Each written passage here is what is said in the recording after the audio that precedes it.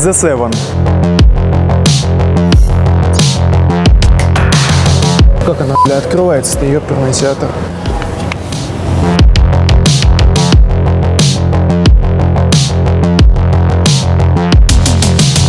Выглядит стильно, пользоваться будете вряд ли этим.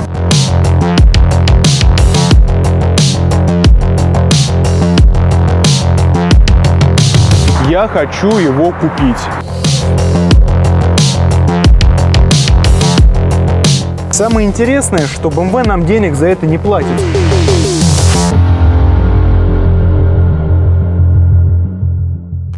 Привет всем, меня зовут доктор Сергей Рожнов, и вы смотрите автообзор машин для доктора. Спор между Мерседесом и BMW, BMW и Мерседесом кажется вечным. Фанаты и одного и другого бренда говорят, что их машина лучше, и приводят, конечно же, правдивые аргументы.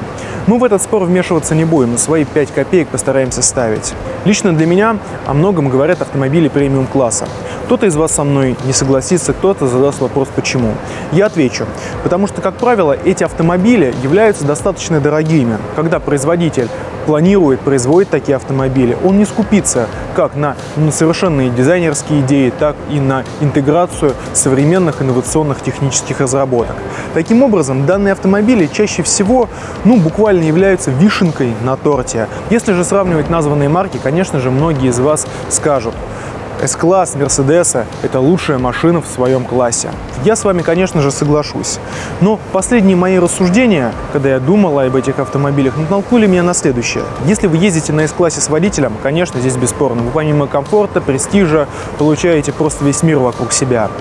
Но если вы вдруг на выходные дни захотите сесть за руль этого автомобиля, вы будете выглядеть как водитель. Вот на фоне вот этих вот моих рассуждений и последнего рестайлинга S-класса BMW подготовил и достал буквально из рукава свой козырь. The Seven.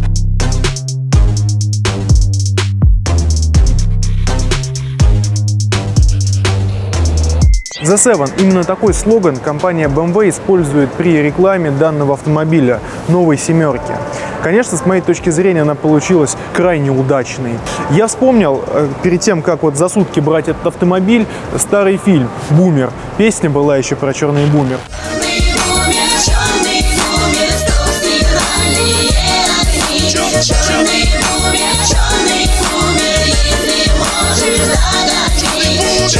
То время, это, наверное, уже лет, наверное, больше 10 прошло, тот кузов э, семерки пользовался большим спросом, он был реально красивый. И мне кажется, в то время он смог действительно затмить S-класс. У его последователя есть все шансы, чтобы повторить такой же успех.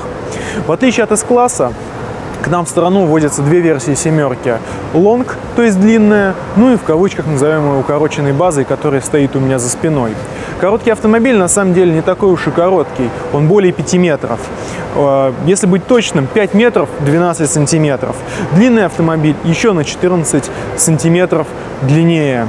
Сегодня мы взяли именно укороченную версию автомобиля, потому что целью сегодняшнего тест-драйва является определить, насколько можно комфортно и солидно ездить на подобном автомобиле именно без водителя.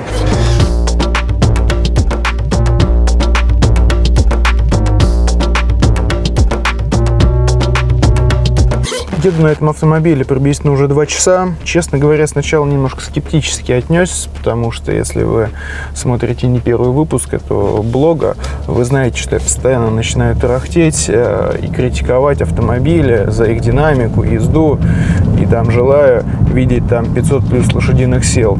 В этом автомобиле 320 дизельных сил, но с динамикой у него более чем все в порядке, то есть это очень меня удивляет, и я просто получаю удовольствие от этого автомобиля автомобиля от езды. То есть машина шустрая, то есть слушается великолепно. Дизель, конечно, слышно и снаружи, и внутри, что машина дизельная. Но по большому счету это сильно не напрягает. Все современные дизеля достаточно хороши. Коробка работает мягко, плавно, то есть э, никаких тычков, там, дерганий не видно, не слышно. Подвеска автомобиля опять-таки, люблю говорить я постоянно, что жесткая, мягкая, какая-то умеренно жесткая. Здесь я поймал себя на мысли, записывая вот этот ролик, что э, я вообще не чувствую, не думаю о ней. То есть это значит, что это очень хорошо. Я не люблю, когда подвеска очень мягкая, э, когда плаваешь, как на корабле. Ну и когда жесткое тоже не есть хорошо, когда вот эти вот ямы все по осени, когда там на своем позвоночнике и на седалище ощущаешь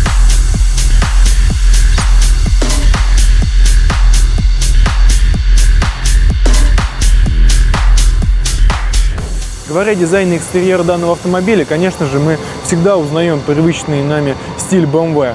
Во многом, конечно же, это достигается за счет вот этой вот решетки радиатора, которую в этом кузове все троллят э, за счет того, что она стала просто нереально большой. Мне кажется, самый большой из, из тех автомобилей, которые я вообще видел, если говорить про BMW.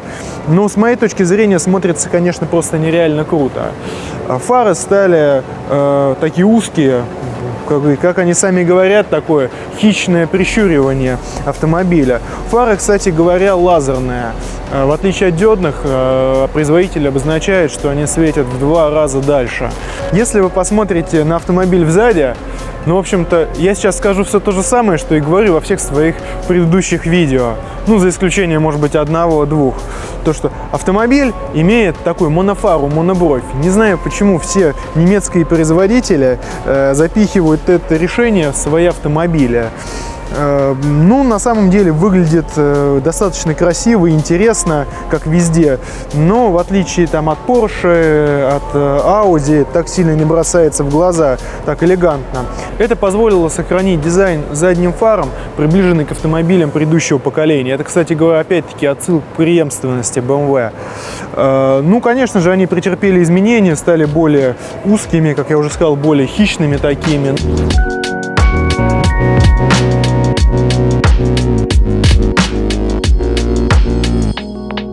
Проекция дисплея на лобовое стекло с моей точки зрения шикарно. Дублируется в принципе все и даже карта навигатора, э, и все вот эти дополнительные подсказки, указатели. Ну, то есть это прям достойно похвалы. Э, причем э, скажем так, я опять-таки очень придирчиво ко многим вещам отношусь, потому что бывает перед глазами маячит неприятно. Такое ощущение отчасти вызывает, э, допустим, у некоторых брендов, у того же Ягуара, такое ощущение, как будто двоится в глазах. Здесь такого нету, и не важно, что мы там пытаемся разглядеть. Скорость или там спидометр, да, показания его, либо, соответственно, там подсказки стороны карты, где поворачивать. То есть э, все выглядит более чем достойно. Там это как бы машина. А как она, бля, открывается-то, ёпперный театр? Как, бля, она открывается-то? А? Не знаю, как она открывается. А мать не хочется.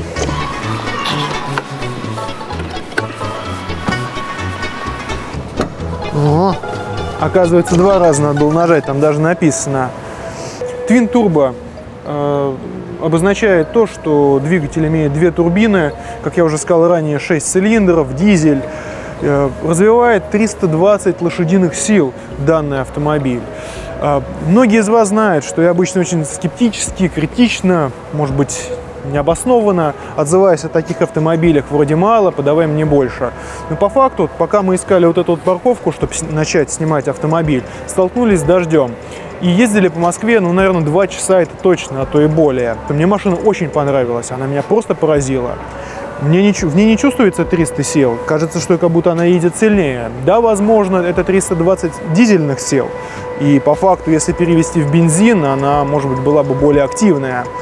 Но тем не менее, машина очень шустрая, машина маневренная, несмотря на свою длину, машина едет просто шикарно. То есть вот то, чего опять-таки, что я часто люблю говорить, э, то, что мощность автомобиля – это невозможность разогнаться до 300 километров там, и чтобы, не знаю, все пролетало мимо тебя, как в космосе а именно маневренность, возможность совершить маневр быстро. Это позволяет вам чувствовать себя за рулем комфортно раз, и это отчасти делает вождение во многих случаях более безопасным.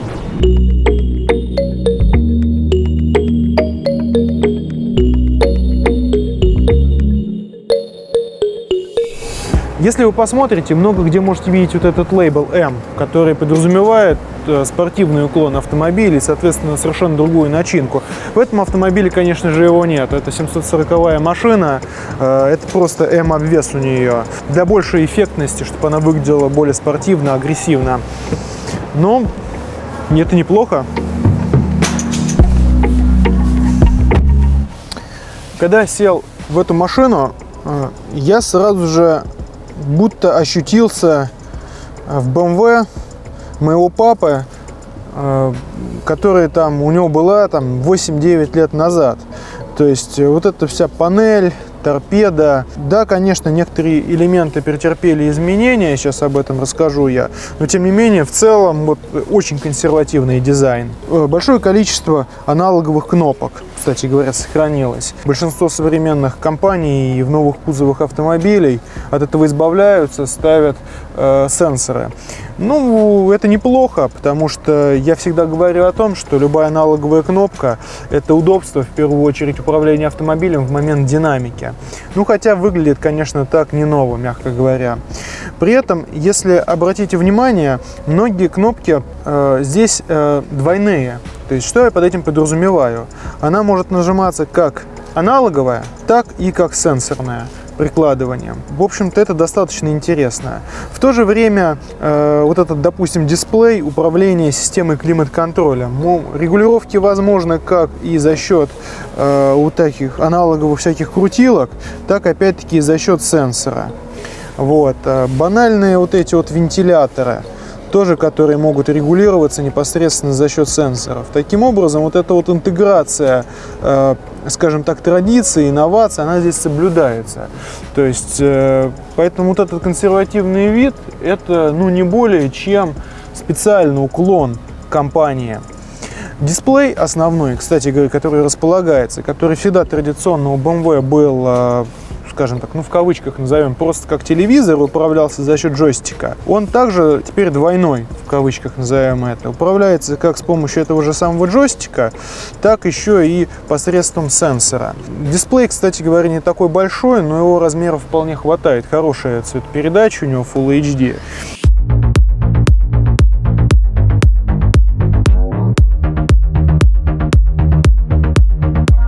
Если говорить в целом об эргономике, опять-таки по опыту уже эксплуатации автомобиля, поскольку мы сегодня поездили на нем полдня, вот, то эргономика здесь очень хорошая. То есть сидишь, рука на подлокотнике, э, и фактически до любых э, элементов здесь совершенно спокойно можешь дотянуться, особенно не напрягаясь. Расположение дисплея тоже очень удобное. То есть пользоваться сенсором не очень комфортно, потому что высоко тянуться, если во время езды, но зато расположение высокое, особенно не отвлекаешься. Вот, э, я бы сказал, что мне очень нравится, очень интересно. Аналоговую приборную панель полностью заменил планшет. Здесь первое, что бросается в глаза, то что вот форма вот этого планшета полностью совпадает с этим вот вырезом э, в руле. То есть визуализация, даже при каких-то небольших поворотах, полная. То есть это очень удобно. Второе, что бросается в глаза, это то, что все понятно. Нету никакого нагромождения, загромождения, например, как у Audi, где вроде много всего, много данных, все интересно, но эти все картинки нам выглядят настолько ляписто у них, что даже чтобы скорость разобрать, э, с которой ты едешь, бывает ну, ни черта непонятно. А это, извините, не когда мы сидим, это во время динамики, езды в автомобиле, а это, в свою очередь, безопасность. Здесь такого нету, все достаточно понятно, минимум нагромождений, но зато очень хорошая визуализация. Что не нравится, так вот это вот нагромождение кнопок на руле. Да, с одной стороны, это такая современная тенденция, но э, кнопок много, и они абсолютно не, не информативны. Э, допустим, выберем тот же самый круиз-контроль, захотим что-то выбрать, э, нажимаем на кнопку, он э, не дает, э, просит задать какие-то параметры. В какой-то последовательности нажимать, колдовать и зачем тогда это выносить все на руль для упрощенного управления, извините, здесь непонятно. С моей точки зрения, это можно было как-то обыграть по-другому совершенно. Вот. Э, ну, выглядит стильно, пользоваться будете вряд ли этим.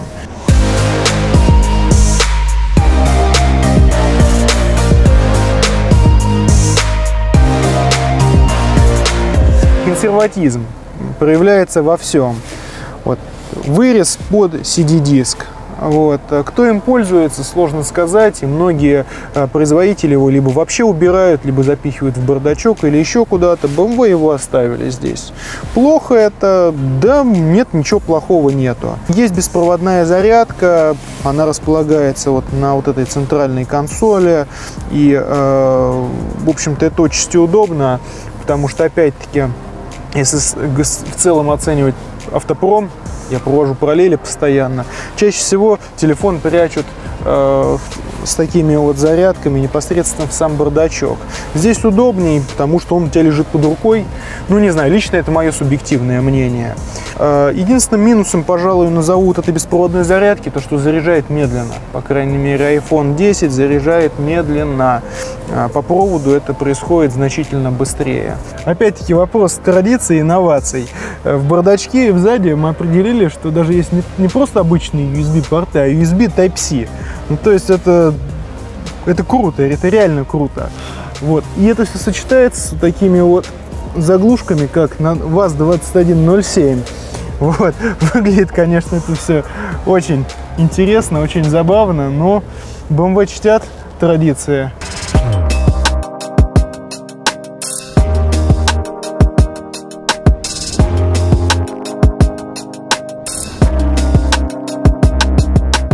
Сейчас будем говорить о багажнике. Ну, кстати говоря, вот мы сейчас в обсуждении заметили, машина дизельная и, и сейчас заведена, кстати говоря. Да, в этом, на этой парковке играет музыка, но тем не менее э, работа дизеля, она фактически не слышна.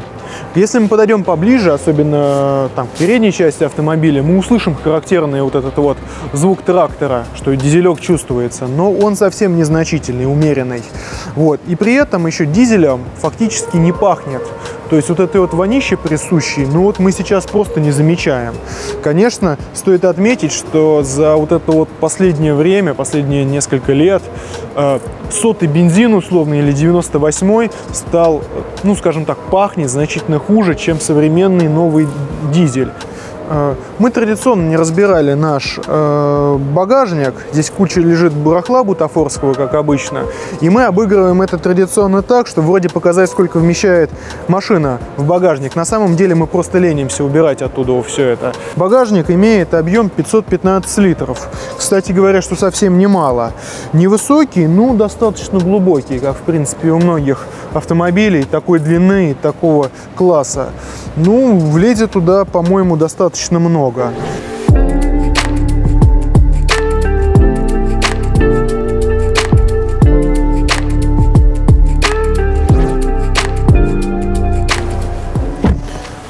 Мы говорили уже с вами о том, что да, это авто представительского класса, но это не длинная версия, короткая.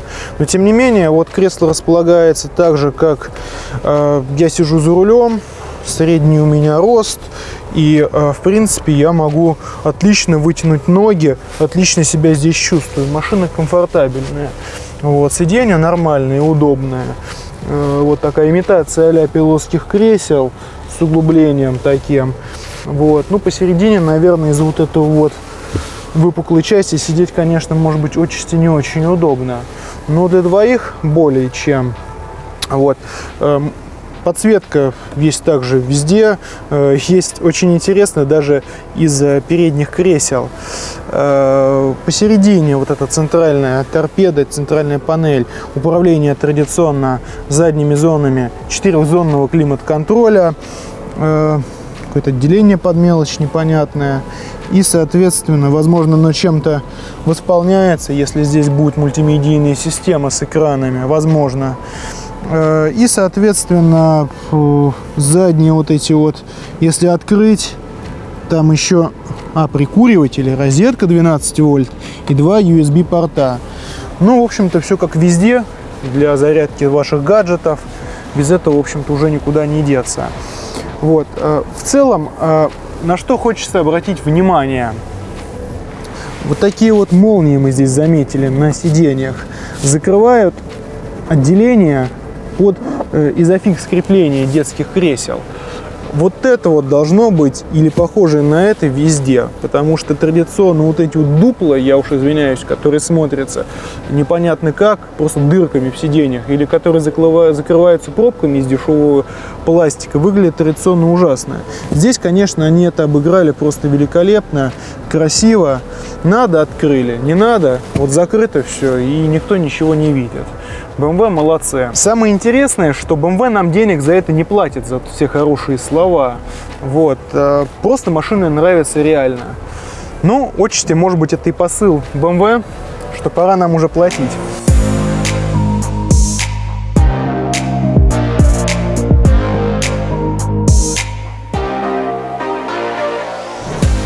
У нас сегодня ценный пассажир. Вот сиденья для детского кресла все же пригодились. Сидит и жалуется, что ему места здесь мало. Целый день мы сегодня показывали, что на этом автомобиле премиум-класса можно ездить за рулем и чувствовать себя отлично, и чувствовать себя водителем. Но тем не менее не надо забывать то, что этот автомобиль в том числе создавался для того, чтобы ездить с водителем. Несмотря на укороченную базу, вот сейчас будем смотреть, насколько нам это будет комфортно.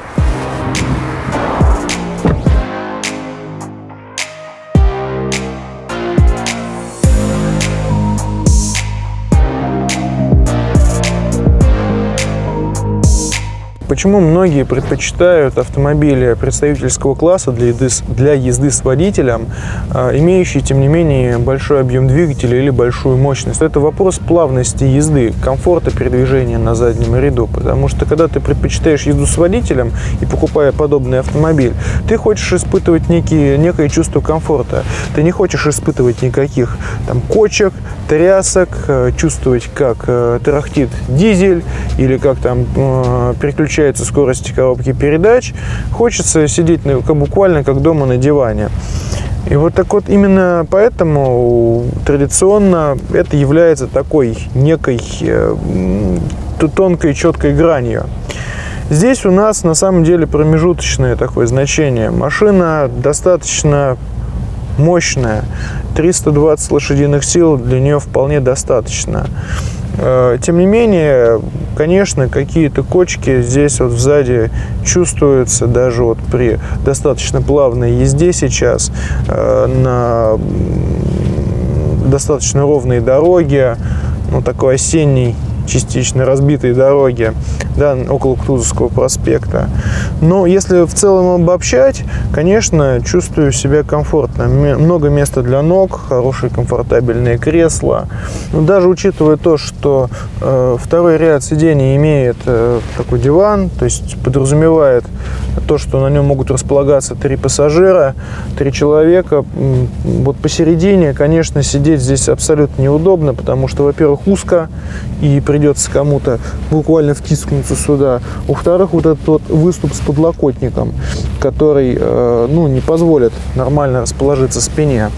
Вот. Э, но, тем не менее, при необходимости он трансформируется вот в такой вот большой подлокотник, ну, по большому счету, он лишь удобен для того, чтобы сюда укладывать руку, чтобы сидеть буквально как на кресле. От этого действительно очень удобно. А с точки зрения функциональности он не такой прям чрезмерно функциональный, не глубокий, ничего особенно туда не запихнешь. Вот. А, ну, единственное, что здесь есть, это есть вот эти вот подстаканники, которые есть у всех BMW. Вот. Ну, достаточно удобно, кстати говоря. Если, конечно же, вы выберете длинную версию, конечно, у вас э, места будет больше, э, здесь уже будет иметь место целесообразности э, выбрать дополнительную функцию там, с мультимедийной системой, с дисплеями, вот, и со всем-всем-всем. То есть, но я еще раз хотел бы подчеркнуть, даже в укороченной вот этой базе, в укороченной версии, поездка крайне комфортная, места немало немало.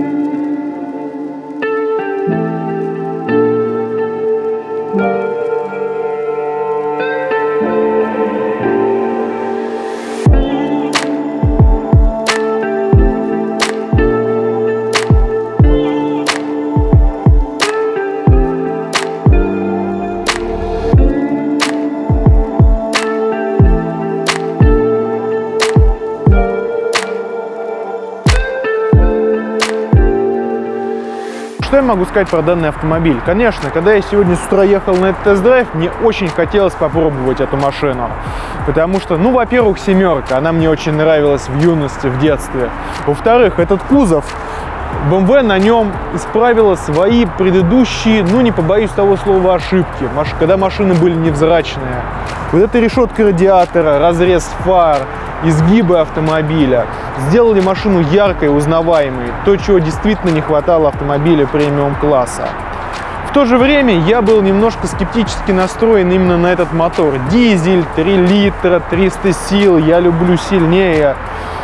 Но просто все вот эти вот мои предрассудки просто были разбиты в клочья аргументами динамики данного автомобиля. Машина просто невероятная. Машина э, едет быстро, маневренно, просто шикарно. Сверхкомфортабельная внутри, как для водителя, так и для пассажиров. Конечно, BMW остается BMW, и они остаются консерваторами во многих вещах. В том числе это отображается и на центральной консоли автомобиля, которую, за которую их многие критикуют, говорят, что это старье, все было как есть. Спросите вы меня, купил бы я себе вот такой автомобиль? Я вам прямо отвечу, купил, и более того скажу, что я хочу его купить. Спасибо всем, что смотрели данный автообзор. Всем хорошего вечера, дня, суток. А мы пошли греться, потому что очень холодно. Пока-пока.